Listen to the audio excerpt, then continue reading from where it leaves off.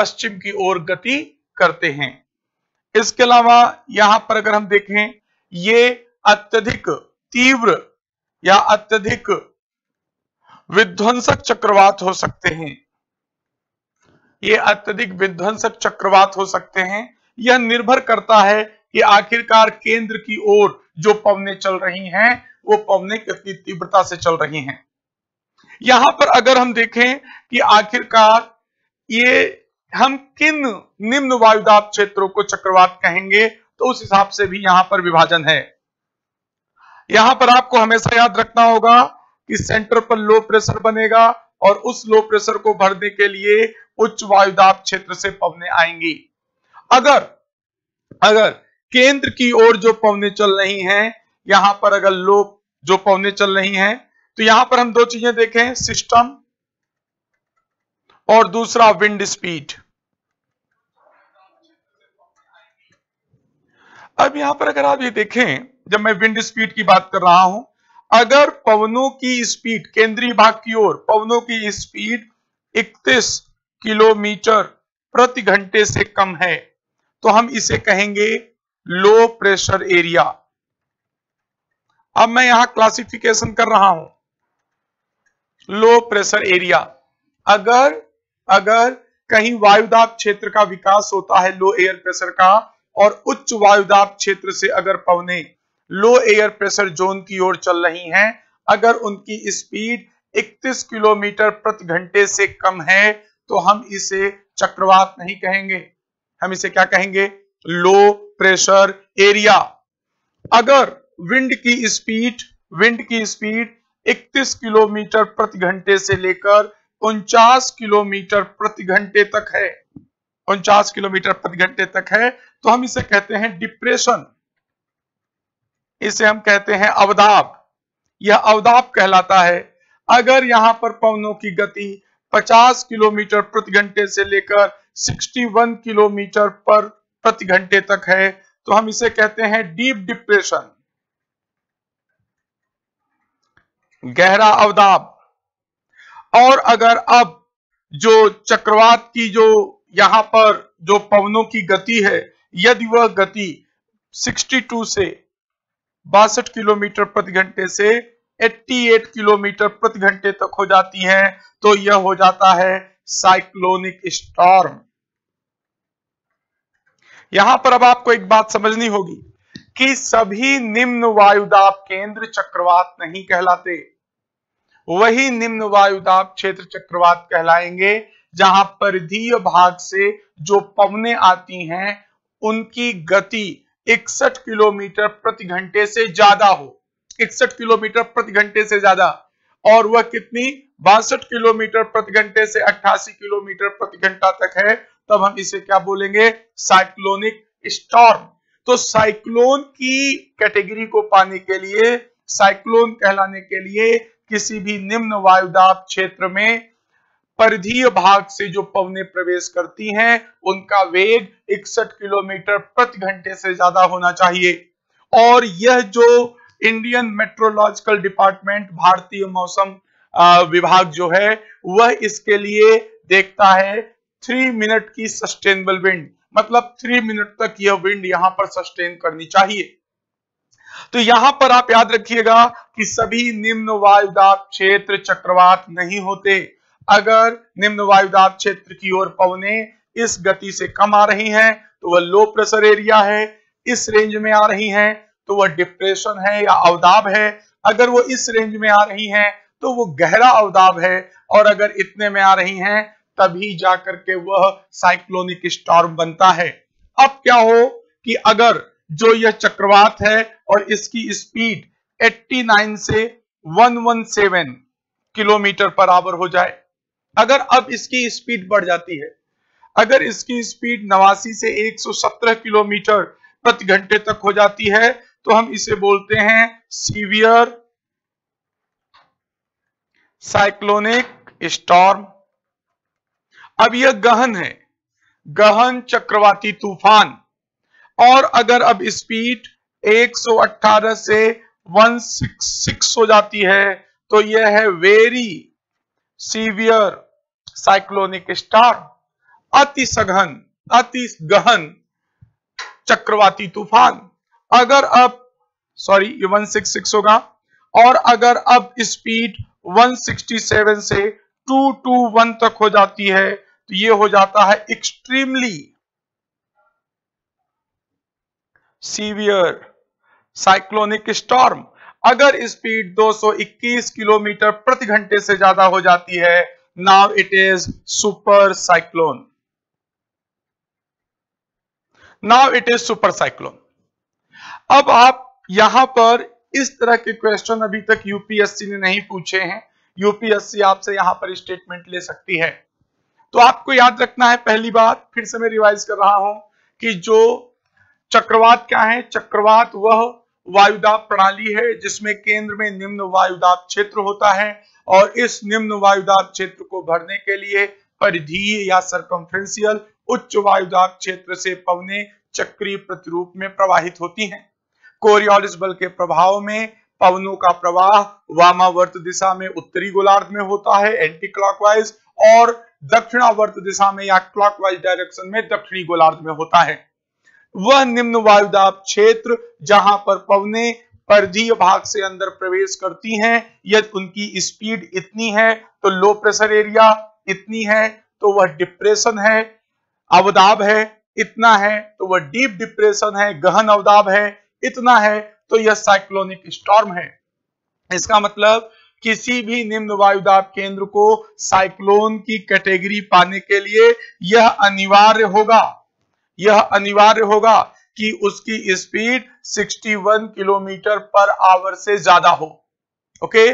और इसी क्रम में चलते चलते जब यह 221 किलोमीटर प्रति घंटे से ज़्यादा हो जाती है, तब हम इसे बोलते हैं सुपर साइक्लोन। हम लोगों ने अक्सर यहाँ पर यह देखा होगा कि हम कई कैटेगरी देखते हैं कि साइक्लोन की कैटेगरी क्या है। उस पर मैं थोड़ा बाद में आपसे बात करता हूँ। अब इसके बाद एक और बात होती है कि जो ये उष्णकटिबंधीय चक्रवात निर्मित होते हैं, इन उष्णकटिबंधीय चक्रवातों को क्षेत्रीय नाम भी दिया जाता है रीजनल लेवल पर नाम दिया जाता है। जैसे अगर हम देखें, यहाँ पर जापान सागर, Japan sea, south China sea, Japan सागर और दक्षिणी चीन सागर में हम इनको टाइफून कहते हैं। ये टाइफून है। यद्यपि जापान में पहले इनको नोवाकी भी कहा जाता था, लेकिन अब नोवाकी की जगह टर्म टाइफून ही यूज़ होता है। हाँ कई बार टर्म टाइफू भी यहाँ पर आ जाता है। अगर हम इसे यहाँ से हटके ये प्रशांत महासागर वाला हिस्सा हो सकता है, आप समझ सकते हैं, पश्चिमी प्रशांत महासागर के क्षेत्र में हम आपसे बात कर रहे हैं। अगर हम इसे Indian ocean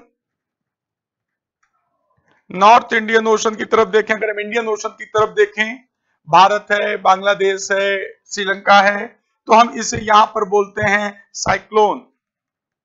हम इसे चक्रवात ही बोलते हैं राइट यहाँ पर जो इनका नाम होता है, यहाँ पर ये साइक्लोन सी होते हैं। तो यहाँ पर ये साइक्लोन ही कहलाते हैं। अगर अब हम यहाँ पर इसे कैरेबियन सागर में देखें, अगर हम यहाँ पर कैरेबियन सागर में देखते हैं कैरेबियन सी, कैरेबियन सागर में तो इनका नाम हो जाता है हरिकेन। कैरेबियन सागर में ये हरिकेन कहलाते हैं। मैं आपसे यहाँ पर इसका मतलब उत्तरी अटलांटिक महासागर में बात कर रहा हूँ। दक्षिणी अटलांटिक महासागर में सतह का तापमान कम होने पर आईटीसी जेट के विस्थापन के न होने पर ज़्यादा, यहाँ पर दक्षिण अटलांटिक महासागर में प्राय ये चक्रवात निर्मित नहीं होते। ओकेजनली बहुत कम निर्मित होते हैं। इसके अलावा हम gulf of Mexico gulf of Mexico के हिस्से में हम यहाँ पर टॉर्नेडो देख सकते हैं। यहाँ पर टॉर्नेडो का निर्माण होता है। टॉर्नेडो एक ऐसा स्थानीय चक्रवात जैसा भी बनता है, जो कि स्थलीय भाग में भी जनरेट हो सकता है। ओके? तो यहाँ पर क्षेत्रीय नाम है। इसके अलावा कुछ और भी नाम है। जैसे ऑस्ट्रेलिया में हम इनको विली विली कह सकते हैं। ऑस्ट्रेलिया में विली विली फिलीपींस में इनको बैगियो के नाम से भी जाना जाता है। तो यहाँ पर ये इनके कौन से हैं? ये क्षेत्रीय नाम है रीजनल नेम है। लेकिन एक बात और देखी गई है यहाँ पर कि आजकल आप सुनते होंगे, जैसे हाल ही में एक चक्रवात आया जिसका नाम ओखी रखा गया राइट तो एक और तरीका है जिसके आधार पर हम साइक्लोन्स का नाम रखते हैं। यद, यह बड़ा महत्वपूर्ण है कि चक्रवातों से तटीय क्षेत्रों के लोगों को चेतावनी दी जाए जिससे कि होने वाली आपदा को टाला जा सके, होने वाले विनाश को टाला जा सके। इसलिए चक्रवातों को कुछ ऐसा नाम दिया जाता है जिससे कि जिससे कि अगर लोगों को चेतावनी देनी है तो उन्हें बताना आसान हो। तो चेतावनी प्रणाली को और अधिक कारगर बनाने के लिए यहाँ पर चक्रवातों को विशिष्ट नाम भी दिए जाते हैं। चक्रवातों को नाम देने की जो परंपरा है, वह परंपरा अठारह से प्रारंभ हुई, जबकि ऑस्ट्रेलिया के रेक साहब ने यहाँ पर एक प्रयास शुरू किया और उन्होंने चक्रवातों को जो कुख्यात पॉलिटिशियंस थे, जो राजनेता थे, उनके नाम पर चक्रवातों का नाम रखना प्रारंभ किया। और यह प्रक्रिया 1908-9 तक चलती रही। यह एक अनौपचारिक प्रक्रिया थी। लेकिन अंततः उन्नीस सौ तिरपन में यूएसए में जो मेट्रोलॉजिकल डिपार्टमेंट वगैरह था यूएसए का, उसने औपचारिक रूप से नाम रखना शुरू किया और इसके अंतर्गत इसके अंतर्गत चक्रवातों को उनके आने के क्रम में अंग्रेज़ी अल्फाबेटिकल अंग्रेज़ी अल्फाबेट्स के नाम पर नाम देना शुरू किया गया। यह प्रक्रिया औपचारिक रूप से आप उन्नीस सौ तिरपन से प्रारंभ होते हुए मान सकते हैं। मान लीजिए अगर कोई पहला चक्रवात आया तो उस चक्रवात का नाम हमने ए से रख दिया। लेकिन यहाँ पर एक बात ध्यान देने वाली है कि इसमें ए से लेकर के डब्ल्यू तक अल्फ़ाबेट ही यूज़ होते हैं। इसमें Q U X Y Z इनसे नामों को शुरू नहीं किया जाता। थोड़ा कठिन है, इसलिए नामों को शुरू नहीं किया जाता। प्रारंभ में, उन्नीस सौ तिरपन में जब यह नामकरण प्रणाली प्रारंभ की गई तो प्रारंभ में महिलाओं के नाम पर ही चक्रवातों के नाम रखे गए। जिसका महिला संगठनों ने बहुत विरोध किया तो 1970 से जा करके यह प्रयास किए गए कि महिला और पुरुष दोनों के नाम पर यह चक्रवातों के नाम रखे जाएँ। वर्तमान में आ, सांस्कृतिक पक्षों के नाम या किसी भी राष्ट्र के प्रमुख पक्षों के नाम पर आ, कोई भी नाम रखा जा सकता है। एक और बात महत्वपूर्ण है कि वो सभी देश वो सभी तटीय देश जो किसी न किसी महासागर के तटीय भाग में हैं और वो साइक्लोन से प्रभावित रहते हैं। उन देशों को अधिकार दिया गया है कि वो अपने यहाँ से चक्रवातों के नामों की एक सूची प्रदान करें और डब्ल्यू उनमें से नामों को सिलेक्ट कर लेता है।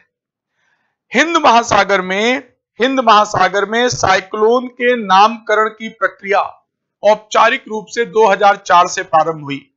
और यहाँ पर अगर मैं आपको एक चीज़ शो कर दूँ यहाँ पर आप ध्यान दीजिए। यहाँ पर अगर हम देखें तो हिंद महासागर में, हिंद महासागर में चक्रवातों का नामकरण करने के लिए जिन देशों को अधिकार मिला हुआ है, वो है Bangladesh, India, Maldives, Myanmar, Oman, Pakistan, Sri Lanka और थाईलैंड। यहाँ पर आप ध्यान दीजिए जिसका नाम अल्फाबेटिकल बी से अल्फाबेट्स में सबसे पहले है बी बांग्लादेश। मान लीजिए 2018 में पहला साइक्लोन आ रहा है, मान लीजिए। तो यहाँ पर बांग्लादेश ने अपने यहाँ बांग्लादेश ने अपने नामों की एक सूची दी हुई है। मैं आपको कह रहा हूँ कि 2018 के लिए हम मान लें, एक सूची दी हुई है। और पहला जो साइक्लोन बना तो बांग्लादेश द्वारा दिए गए नाम से उठा लिया जाएगा। फिर उसके बाद जो दूसरा साइक्लोन आया, वो इंडिया के नाम से लिया जाएगा। जो इंडिया ने सूची दी है, तीसरा आया तो मालदीव से एंड सोवान इस प्रकार हिंद महासागर में और उत्तरी हिंद महासागर में जो साइक्लोन्स का नामकरण है, उसके लिए ये आठ देश, आठ देशों को नाम देने के लिए अधिकृत किया गया है। यह है Bangladesh, India, Maldives, Myanmar, Oman, Pakistan, Sri Lanka, Thailand. अब आप यहाँ पर ध्यान दीजिए, जैसे हाल ही में एक साइक्लोन आया और जिसका नाम था ओखी। और यहाँ पर देखिएगा ओखी नाम जो है, यह बांग्लादेश द्वारा दिया गया है। यहाँ पर यह ओखी। उसके पहले अगर आप ध्यान दें तो उसके पहले जो साइक्लोन आपने सुना होगा, वह साइक्लोन था मोरा। राइट तो इसका मतलब हिंद महासागर में, हिंद महासागर में उष्णकटिबंधीय चक्रवातों का नामकरण देने के लिए जिन देशों को अधिकृत किया गया है, वो ये आठ देश हैं। ठीक है? ये आप आठों देशों के नाम आपको यहाँ पर क्या करने हैं? याद रखने हैं। हो सकता है इससे यूपीएससी आपसे क्वेश्चन पूछ ले। अब यहाँ पर एक बात और है कि जो उष्णकटिबंधीय चक्रवात बनते हैं, ये पाँच डिग्री से तीस डिग्री बनते हैं। तो ये ज़ीरो डिग्री यह पाँच डिग्री नॉर्थ अगर मान लेते हैं यहाँ पर, केवल ये लें, और ये तीस डिग्री नॉर्थ। तो ये हिस्सा जो है, यहाँ पर व्यापारिक पवने चलती हैं।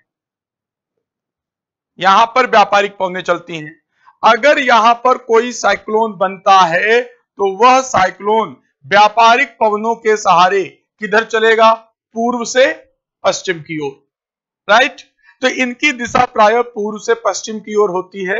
यद्यप जब ये 15 डिग्री नॉर्थ पहुँचते हैं तो थोड़ा उत्तर की ओर जाते हैं और फिर दक्षिण की ओर भी आ सकते हैं। ठीक है? ये बात आपको ध्यान रखनी है। अब मैं फाइनल बात पे आता हूँ, जिसके लिए हमने यहाँ पर थोड़ा आपको परिचय दिया। हाल के प्रमुख चक्रवात।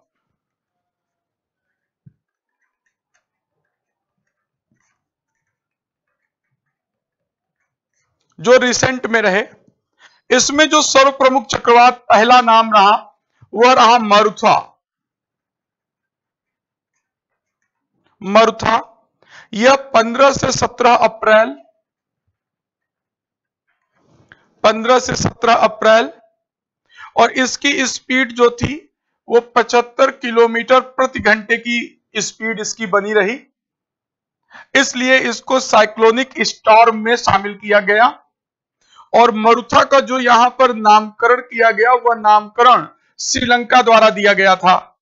यहाँ पर जो मरुथा नाम दिया गया, वह मरुथा नाम श्रीलंका द्वारा दिया गया। याद रखिएगा श्रीलंका द्वारा दिया गया और इससे जो प्रभावित क्षेत्र थे, वो प्रभावित क्षेत्र थे म्यांमार, अंडमान एंड निकोबार। प्रभावित क्षेत्र है निकोबार द्वीप समूह और थाईलैंड। मेजर एरिया जो प्रभावित हुए मरुथा। मरुथा चक्रवात 15 से 17 अप्रैल 2017 2017 बे ऑफ़ बंगाल में सक्रिय रहा और इसमें जो पवन है उसकी स्पीड केंद्र की ओर 75 किलोमीटर प्रति घंटे की रही। मरुथा नाम श्रीलंका द्वारा दिया गया और इससे जो प्रभावित क्षेत्र थे वो थे म्यांमार, अंडमान, निकोबार आइलैंड और थाईलैंड। ये क्षेत्र प्रभावित रहे। इसके बाद एक और चक्रवात आया जिसका नाम था मोरा। मोरा। यह जो मोरा चक्रवात है, यह नामकरण किया गया थाईलैंड द्वारा। थाईलैंड ने नाम दिया। मोरा चक्रवात में जो पवनों की गति थी, वो 110 किलोमीटर प्रति घंटे तक पहुँच गई। इसका मतलब यह सीवियर साइक्लोन था। यह सीवियर साइक्लोन था। यहाँ हमने आपको साइक्लोन की जो स्पीड दी है, उसमें देखिए 117 तक पहुँच गया। जो हमने पिछला आपसे मरुथा की बात की है, उसकी स्पीड 75 रही है 75 किलोमीटर प्रति घंटा। स्पीड कौन सी है? बाहरी भाग से केंद्र की ओर जो स्पीड होगी। तो यहाँ पर जो मरुथा था, वह केवल साइक्लोनिक स्टॉर्म था, और जो मोरा था, वो सीवियर साइक्लोनिक स्टॉर्म है। तुलना करने के लिए आपसे यह प्रश्न आ सकता है इसलिए आप यहाँ पर तैयार रहेंगे। और इससे जो प्रभावित क्षेत्र रहे, मोरा से जो प्रभावित क्षेत्र रहे, वो क्षेत्र रहे श्रीलंका, फिर अंडमान एंड निकोबार, फिर इसके बाद north east India, Bangladesh Bangladesh, Myanmar. इसके अलावा इसकी तेज पवने जो हैं, वो तिब्बत तक भी प्रभाव डालती हैं, डालती नहीं, लेकिन ये वो प्रमुख क्षेत्र हैं जो तटीय क्षेत्र हैं जहाँ सबसे ज़्यादा प्रभाव हुआ। इसके बाद इसके बाद जो अगला जो हमने सुना वो वो कौन सा था? ओखी। ओ सी के एच आई, ओखी। ओखी का मतलब है आँख, आई। और यह नाम बांग्लादेश द्वारा दिया गया। बांग्लादेश। और यह यहाँ पर 19 नवंबर से 6 दिसंबर तक इसका प्रभाव बना रहा। और इसमें जो स्पीड थी, वह पहुंचकर हो गई 155 किलोमीटर पर आवर। अब आप ध्यान दें, अगर यह 155 किलोमीटर पर आवर हो गया तो यह वेरी सीवियर साइक्लोनिक स्टॉर्म में कन्वर्ट हो गया। यह वेरी सीवियर साइक्लोनिक स्टॉर्म और बहुत अलग तरीके से इसने पैटर्न शो किया। यहाँ से जनरेट होकर यह इस तरफ़ पहुँचा। तो यहाँ पर इसका पैटर्न भी थोड़ा सा डिफरेंट हुआ ओखी का। और ओखी जो है वेरी सीवियर साइक्लोनिक स्टॉर्म रहा है। बांग्लादेश ने इसका नाम दिया। और इससे प्रभावित होने वाले क्षेत्र जो रहे श्रीलंका इंडिया और मालदीव्स। श्रीलंका, इंडिया और मालदीव्स। तो अब मैंने आपको ये क्यों बताया? यहाँ पर मेरा उद्देश्य आपको साइक्लोन पढ़ाना नहीं था। मेरा उद्देश्य आपको इतना था कि आप साइक्लोन को अच्छे से पढ़ें और इसके अलावा पिछले समय में, पिछले एक साल में जो प्रमुख चक्रवात रहे, वह तीन चक्रवात प्रमुख रहे। पहला चक्रवात था मरुथा मरुथा। यह नाम श्रीलंका ने दिया। बे ऑफ़ बंगाल में रहा यह चक्रवात। 15 से 17 अप्रैल 2017 और इसमें जो सस्टेनेबल विंड स्पीड थी, वह थी 75 किलोमीटर प्रति घंटा और जिसकी स्पीड 75 किलोमीटर प्रति घंटा होगी, उसे हम लिखेंगे साइक्लोनिक स्टॉर्म। अब आपसे यहाँ पर स्टेटमेंट बन सकता है मरुथा के बारे में, मोरा के बारे में और ओखी के बारे में। और पूछा जा सकता है ये क्या थे? ओके तो यहाँ पर जो मरुथा है that is only cyclonic storm और इससे प्रभावित क्षेत्र है म्यांमार, अंडमान, निकोबार द्वीप समूह और थाईलैंड। फिर इसके बाद अगला आया यहाँ पर मोरा। मोरा नाम दिया गया थाईलैंड द्वारा। 110 किलोमीटर प्रति घंटे की रफ्तार और 110 किलोमीटर प्रति घंटे की रफ्तार है तो ऑटोमेटिकली ये हो गया सीवियर साइक्लोनिक स्टॉर्म और यहाँ पर प्रभावित होने वाले क्षेत्र रहे श्रीलंका, अंडमान, निकोबार द्वीप समूह, नॉर्थ ईस्ट इंडिया, बांग्लादेश और म्यांमार। और यहाँ पर वेरी सीवियर साइक्लोनिक स्टार में ओखी रहा और बांग्लादेश ने यह नाम दिया 29 नवंबर से 6 दिसंबर 2017 155 किलोमीटर प्रति आवर की स्पीड और यहाँ श्रीलंका, इंडिया और मालदीव प्रभावित क्षेत्र है अब एक दो बात और यहाँ पर हम कर लें। कि जो ये चक्रवात होते हैं उष्णकटिबंधीय चक्रवात, जब ये इस जलीय भाग से स्थलीय भाग की ओर पहुँचते हैं। अगर मान लीजिए यहाँ पर यह ओशियानिक पार्ट है और यह लैंड पोर्शन है, अगर पहली बार कोई साइक्लोन यहाँ लैंड करता है तो हम इसे बोलते हैं लैंडफॉल यह लैंडफॉल कहलाता है। और इसके बाद, चूँकि इन उष्णकटिबंधीय चक्रवातों के ऊर्जा का प्रमुख स्रोत वाष्पन की प्रक्रिया में जो जलवाष्प और संघनन की गुप्त उष्मा होती है, वही होती है यहाँ पर इसकी ऊर्जा का मुख्य स्रोत। तो चूँकि ये स्थल भाग में आते हैं तो ऊर्जा का यह स्रोत कट जाता है, इसलिए जब ये स्थलीय भाग में आते हैं तो यहाँ पर ये चक्रवात समाप्त हो जाते हैं। लेकिन जो अपने साथ ये ऊर्जा लेकर आए होते हैं, वो ऊर्जा पूरी रिलीज़ करते हैं, छोड़ते हैं, इसलिए तटीय क्षेत्रों के अलावा आंतरिक भागों तक तीव्र पवने चलने लगती हैं। लेकिन जहाँ पर लैंडफॉल होता है, वहाँ पर नुकसान सबसे ज़्यादा होता है। यहाँ पर जो साइक्लोन होता है उष्णकटिबंधीय चक्रवात, उसका केंद्रीय भाग आई कहलाता है। उसके चारों तरफ़ आई वॉल होती है और उसके चारों तरफ़ यहाँ पर स्पाइरल बैंड्स होते हैं। ये सब आप जानते होंगे। किसी समय टाइम मिलता है तो मैं आपको इसमें विस्तार से बात करूँगा। जब आई जो होती है, याद रखिएगा, ये सबसे शांत क्षेत्र होता है। और लो एयर प्रेशर जोन है आई और जब ये किसी महासागर के ऊपर से आई गुजरती है तो यह नीचे के जल को ऊपर खींचती है।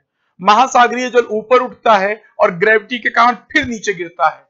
इसलिए जब चक्रवात महासागरों के ऊपर से गुजरते हैं तो यहाँ महासागर में ऊँची ऊँची लहरें पैदा होती हैं, जिसे हम स्टार्म सर्ज कहते हैं। जिसे हम स्टॉर्म सर्ज कहते हैं। स्टॉर्म सर्ज, तूफ़ान महोर्मी।